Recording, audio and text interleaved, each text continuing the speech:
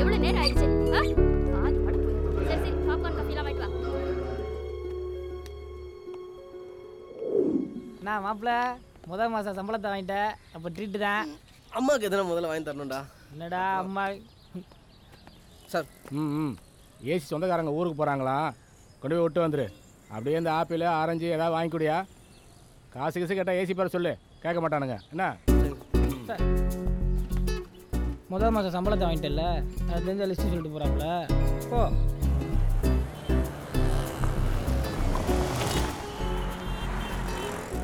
அண்ணா எல்லாத்துலேயும் ஒரு அரை கிலோ பழம் அரை கிலோவா? ஆ.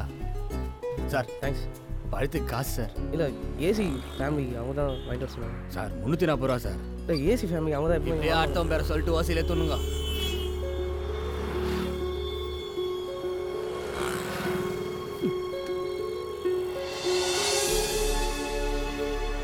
பி பிளாக்கு ஸ்ட்ரைட்டாக போய் ரைட்டில் கட் பண்ணுங்க. ஓகே. யார் விடுங்க யோ என்ன எங்கே சுற்றிட்டு இருக்க? அம்மாவுக்கு உடம்பு சரியில்லை சார். ஹாஸ்பிட்டல் சரி கிரைம் இன்ஸ்பெக்டரோட பாட்டி டிஸ்சார்ஜ் ஆகுறாங்க. கொண்டு போய் வீட்டில் விட்டு போகணும். ஏறு. ஹாஸ்பிட்டல் யோ ஏரியாண்ணா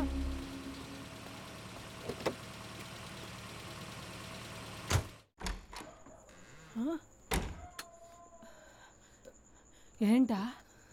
ஏன் இவ்வளோ லேட்டு உனக்கு தெரியாதா? சரி வா சாப்பிட்டு தூங்கு. வேலையாம்மா அது. கொஞ்சம் கூட மரியாதை இல்லைம்மா. நான் விட கேவலமாக நடத்துறானுங்க. அஞ்சு வாங்கலைன்னா இன்னும் மோசம். வயசா நாலு கூட பார்க்காம அசிங்க அசிங்கமாக திட்டுறானுங்க. பெரிய பெரிய ஆஃபீஸர் வீட்டுக்கு காய்கறிலாம் வாங்கணுமா? கவனம் ஒருத்தன் வரான்னு சொல்லிட்டு ஒட்ட வழியில் கால்லேருந்து சாயங்காலம் வரைக்கும் கால் கிட்டக்க நிற்க வைக்கிறானுங்க. குடிக்க தண்ணி கூட கிடையாது. அப்படியே நிற்க வச்சுட்டே இருக்கானுங்க. திருட்டு கம்யூனிட்டிகளுக்கு நாங்கள் போய் சோறு வர வேணாம்னு தரணுமா? வந்து போகிறோம் ஒருத்தனுக்கு சல்யூட் வேற இல்லை பொழப்பமா அது? நாலு வருஷமா வேலையே இல்லாம இருந்த உனக்கு. உங்க அப்பா இறந்து போய் கிடைச்ச வேலைடா இது. இருபத்தி நாலு வருஷமா லஞ்சம் வாங்காத உன் அப்பா. எவ்வளவு அசிங்கப்பட்டிருப்பாரு அவமானப்பட்டிருப்பாரு. எத்தனை நாள் விடிய விடிய தூங்காம அழுதுருப்பாரு. அதெல்லாம் உனக்கு தெரியுமா? ஆ? கொஞ்சம் யோசனை பண்ணி பாருப்பா. என்னைக்காவது அவர் இந்த காக்கி சட்டையை வெறுத்து பேசி நீ பார்த்திருக்கியா? அப்பா மூலமா கிடைச்ச இந்த வேலைய அசிங்கமா பேசாதப்பா. சரி வா சாப்பிட்டு தூங்கு. காலையில எல்லாம் சரியா போ. வா.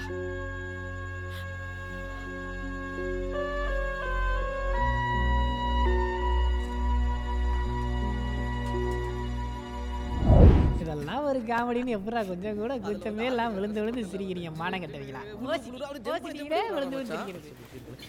டேய் ஹோம்ஒர்க்லாம் முடிச்சிட்டீங்களாடா நீ டவுன் போட சொல்லிட்டு போறாரா? உட்காருங்க உட்காருங்க. Good morning to you all பார்க்குறாரா? என்ன வணங்காமுடி ரொம்ப குஷியாக இருக்கீங்க? நைனா ஊருக்கு போயிட்டார்ல சார். நைனா ஊருக்கு போனால் அவ்வளவு குஷியா? ஆமாம் சார். ரெண்டு நாளைக்கு நயன் நைன் திட்ட மாட்டார்ல ஏன்பா அப்பா மேலே அவ்வளவு கடுப்பு உனக்கு? என்ன சார் கேள்வி கேட்குறீங்க நின்னா திட்டுவாரு நடந்தா திட்டுவாரு பாடி பாடின்னு போட்டு உயிரை வாங்குவார். அதுவும் இந்த பொண்ணுங்க முன்னாடி பசங்களை கேவலப்படுத்துறதுல பெருசுகளுக்கு இருக்கிற சந்தோஷத்தை பாருங்க. முக்கியமான இடத்துல அல்பத்தனமா நடந்து எங்களை அசிங்கப்படுத்துவாங்க சார். என்ன மக்களை நான் சொல்றது? பாத்தீங்களா சார் ஆடியன்ஸ் ரெஸ்பான்ஸை கலக்கிடா எமோஷன்ரா எமோஷன்ரா சார் என் கூட நல்லா திட்டு திட்டுன்னு வாங்கிட்டு வீட்டில் ரில்ஸ் வாங்கி நாங்கள் தானே எங்கிட்ட வந்து நல்லா காட்டு காட்டுன்னு காட்டுவார் சார். வலிக்குது சார். சார் அம்மா கிட்ட கோவம் மட்டும் தான் சார் இருக்கும் ஆனால் அதிகாரம் இருக்காது சார். ஆனால் அப்பா கிட்ட இது ரெண்டு மட்டும் தான் சார் இருக்குது ஓகே ஓகே. என்னைக்கோ ஒரு நாள் தீபாவளி பொங்கல் கிறிஸ்மஸ் அன்னைக்கு மட்டும் அப்படியே ஈன்னு இழிச்சிட்டு ட்ரெஸ் வாங்கி கொடுத்து பாஸ்தா காமிக்கிறாங்களாம். அதனால போட்டு மொத்த மொத்தம் மொத்துறது. இருந்தால் பாசங்க சார் வரும். வெறுப்பாக தான் sir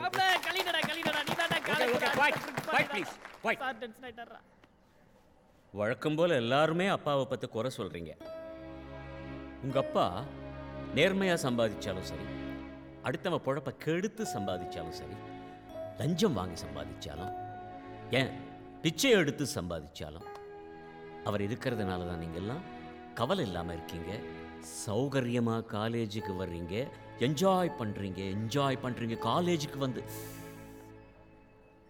Branded glasses branded bag bags branded shoes did you earn this money no உங்கள் அப்பா சம்பாதிச்ச பணம். அதை நீங்கள் செலவு பண்ணுறீங்க நீங்கள்லாம் நல்லா இருக்கணும் ஒழுங்காக இருக்கணுன்றதுக்காக கண்டிப்பாக இருக்கிறதுனால வக்கணையா அப்பாவை பற்றி குறை சொல்கிறீங்க கிரிட்டிசைஸ் பண்ணுறீங்க what is shame what is shame இங்கே அப்பா இல்லாதவங்க எத்தனை பேர் இருக்கீங்க?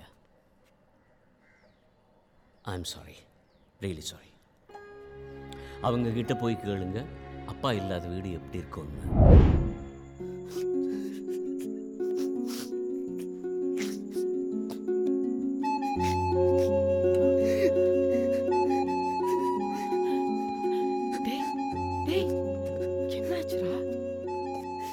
கடைசி அரசு வரைக்கும் நான் புரிஞ்சிக்கவே இல்லைம்மா. செத்தப்ப கூட கவலைப்படல. சந்தோஷமா கொள்ளி வச்சு.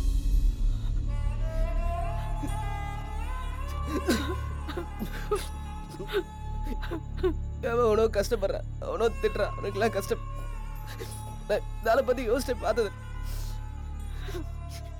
இதெல்லாம் அடிக்கிறா அடிக்கிறா எனக்கு வலிக்குதுன்னு தான் பார்த்தேன். அவருக்கு எப்படி இருக்கும் என்ன யோசிச்சு பார்க்கவே இல்லைம்மா.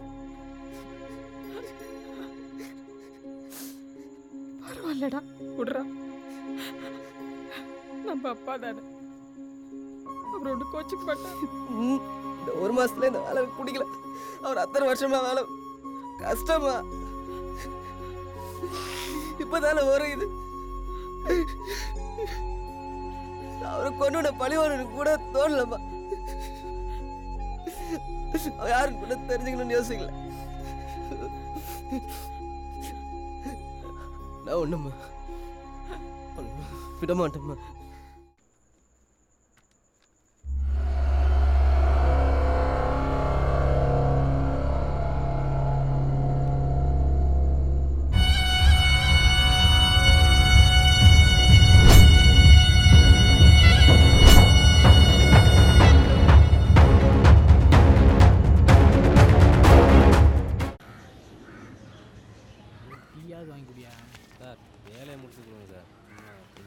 சார் எங்கள் அப்பாவை கொண்டவனோட ஃபைல் வேணும் சார். ஒருத்தன் விடாமல் அத்தனை பேர் டீட்டெயில்ஸும் வேணும் சார். என்னப்பா புதுசாக அப்பா மேலே அக்கறை? இப்போ தான் சார் அவரை புரிஞ்சுக்கிட்டேன். ஏய் நீ வேலைக்கு சேர்ந்த முத நாள் இதை கேட்பேன்னு எதிர்பார்த்தேன். இப்போவாது கேட்டியே சந்தோஷமாக இருக்கு. கொஞ்சம் இரு வரேன். டேய் என்னடா ஆச்சு உன்னே தாண்டா?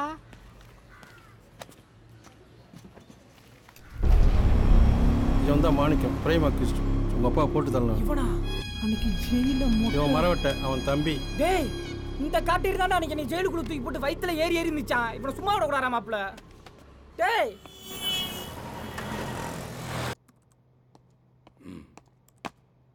சார். சொல்லுயா. ரெசிக்னேஷன் லெட்டர் கொடுக்கணும் சார். அது உங்கள் ஸ்டேஷன்லேயே கொடுக்க வேண்டியது தானே? எதுக்கு கஷ்டப்பட்டு அப்பாயின்மெண்ட் வாங்கி என்கிட்ட கொடுக்க வந்திருக்கேன் இது நீங்கள் கொடுத்த வேலை சார். நீ என்கவுண்டரில் இருந்த ஹெட் கான்ஸ்டபிள் சிங்காரத்தோட பையன் சார். என்னையா? போலீஸ் வேலை பிடிக்கலையா? அப்பாவை கொண்டு நான் கண்டுபிடிக்க போகிறேன் சார். நீ போலீஸ் தானேயா? ஆளை கண்டுபிடிச்சு சட்டத்துக்கு முன்னாடி நிற்க வைக்க வேண்டியதானே?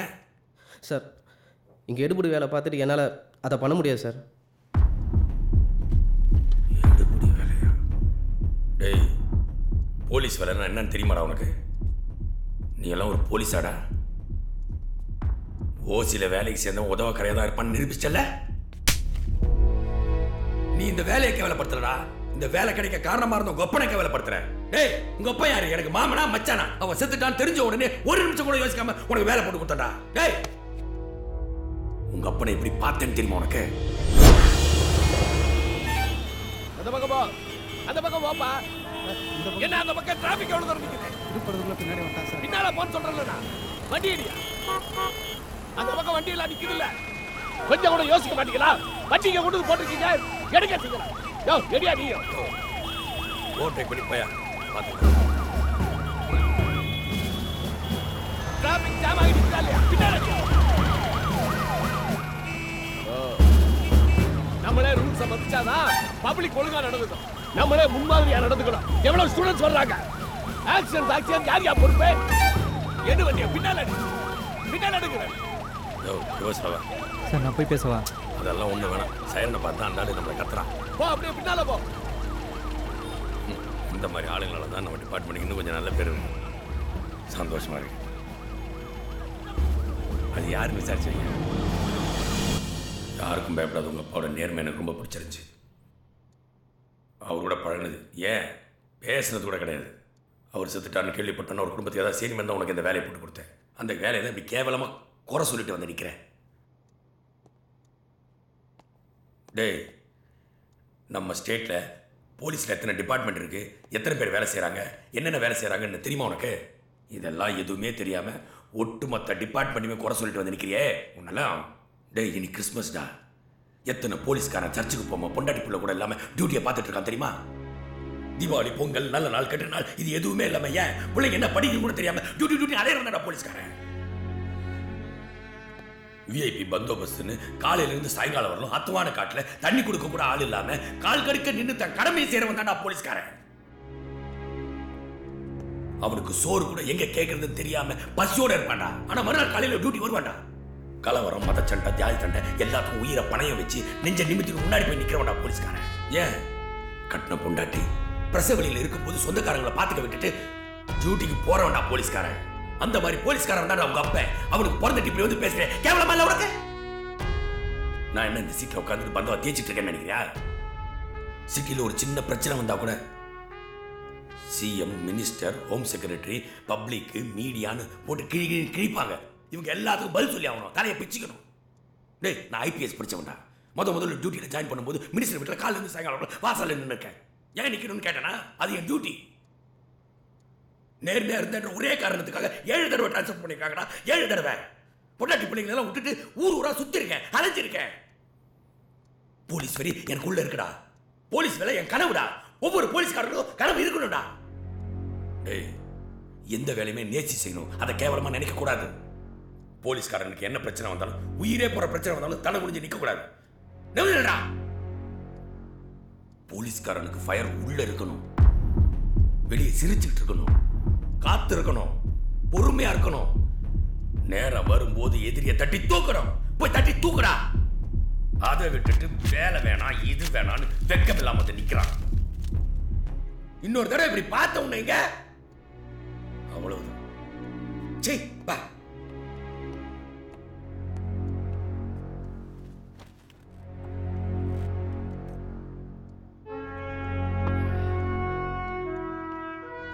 சார் எங்கள் அப்பாவை கொண்டவன் ஜெயிலில் பத்திரமா இருந்தான் சார். ஆனால் பேப்பரில் தலைமறைவன் நியூஸ் வந்துச்சு. அது காரணம் யார் சார்? அவங்கள நீங்கள் என்கவுண்டர் பண்ணுறீங்களோ இல்லையோ அதை பற்றி எனக்கு கவலை இல்லை சார். ஆனால் அவன் யார் எங்கே இருந்தாலும் அத்தனை பேரையும் நான் தூக்கி காட்டுவேன் சார்.